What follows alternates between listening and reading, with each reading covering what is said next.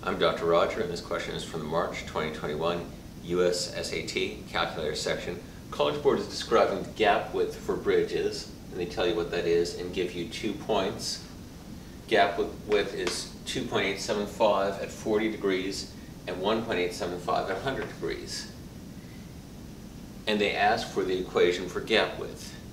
What I'm going to do is substitute in those values and since I'm seeing a 2.875 each time, I'm going to substitute in the 2.875 inches for W when t is 40. So when t equals 40, this first one gives me 40 minus 40 is 0 plus 2.875 is the correct width, 2.875. So this could be correct, but there may also be ones that work. This one gives me 40 plus 40 is 80 when t equals 40. 80 over 60 and negative. So that's a negative number minus 2.875. That's not a positive 2.875, so that one is wrong. And similarly, down here, 40 plus 40 for 80 times 60 gives me a huge number. Minus 2.875 is still a huge positive number. So choice D will not match that first point. The question is, huh, 40 minus 40 is 0. 0 times 60 is still 0 plus 2.875. Choice C also works. The question is which of those two works for our second temperature? At 100 degrees Fahrenheit, we're supposed to get 1.875.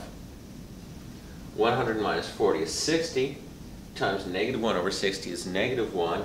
Negative 1 plus 2.875 is 1.875, so that works again. Here, 100 minus 40 is 60. 60 times 60 is 3600 plus 2.875 is a whole lot bigger than 1.875, so that is not correct. Choice A worked for both points. Since two points determine a line, and this is the equation of a line, choice A would be our correct answer. Alternatively, I could solve for the slope. The slope is y2 minus y1, or in this case, width 2 minus width 1, which is 1.875 minus 2.875 over temperature 2, 100 minus temperature 1, which is 40. So my slope is negative 1 over 60, which matches choices A and B. And then I need to find the intercept, or really this is written in point slope form, but once I have the slope I can plug in either point and see which one works. College Board often asks for the equation of a line based on a paragraph describing a real-world situation.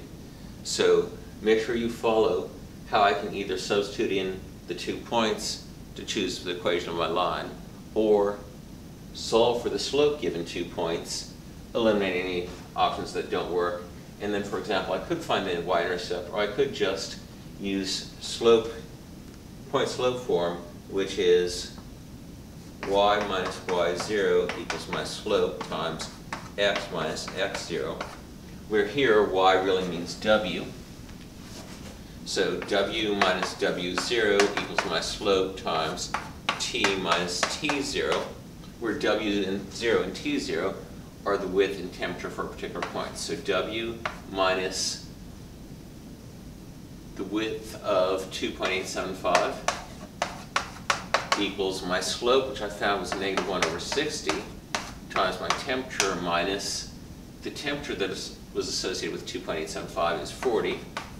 And if I add 2.875 to both sides, that comes out of the formula W equals negative 1 over 60, T minus 40, plus 2.875, which is choice A. In this case, of course, substituting in points into the answer choices is easier and faster than solving for the slope and then writing it in point slope form. But all correct answers are, of course, correct. Come back soon for my next video. With math, there's always more.